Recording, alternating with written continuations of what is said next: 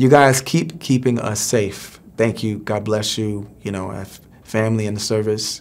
Um, and um, we wouldn't be here without you. So all the very best.